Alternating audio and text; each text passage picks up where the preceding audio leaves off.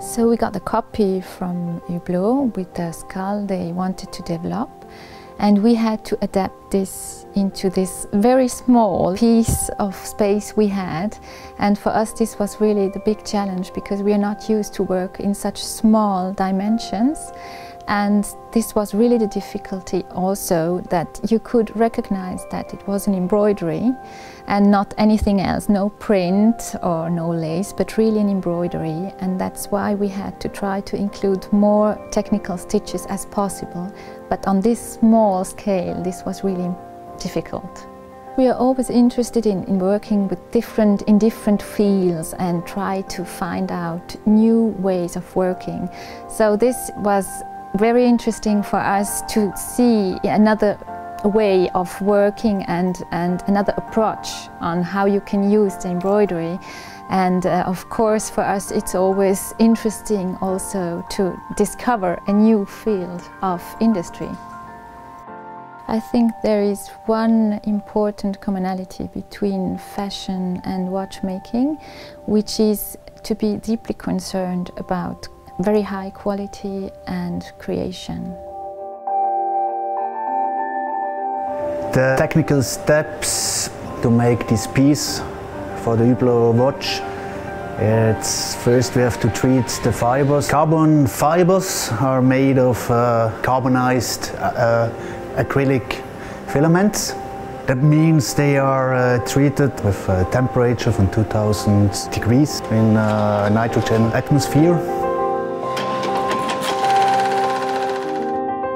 We use carbon fibers everywhere where we use lightweight and uh, high uh, uh, material properties like in the aerospace, medical equipment, motor, sports and a lot of other uses.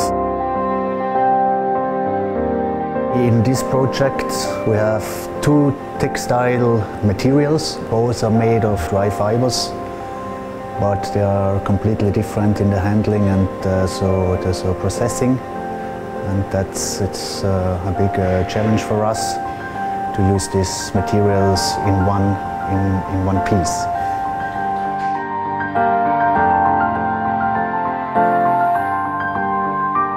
St. Gallen is the center of the embroidery industry.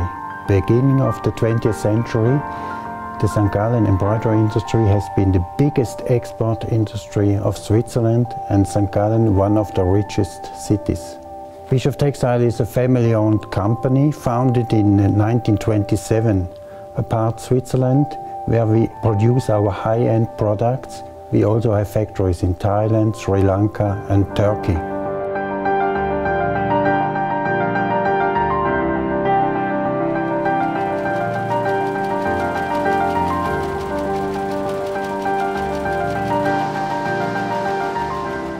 We are leader in the fashion industry for inner and outerwear.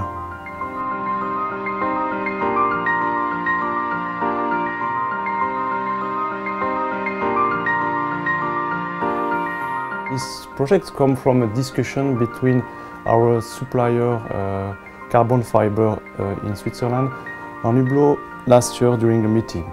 And uh, I was immediately enthusiastic and I imagined which uh, product we could develop together. For me this watch is uh, feminine and provocative. Uh, this watch is unique and different and finally this watch is a Hublot watch.